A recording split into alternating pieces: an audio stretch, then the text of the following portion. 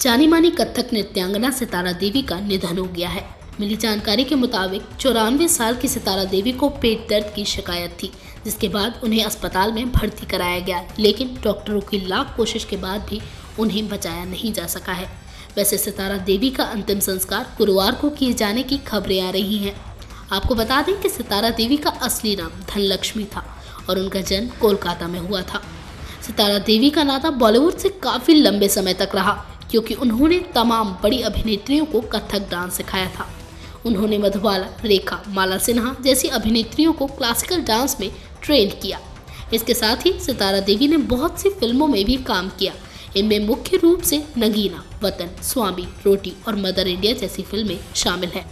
सितारा देवी को संगीत में उनके योगदान को देखते हुए पद्मश्री और कालिदास जैसे सम्मानित पुरस्कारों से भी नवाजा गया।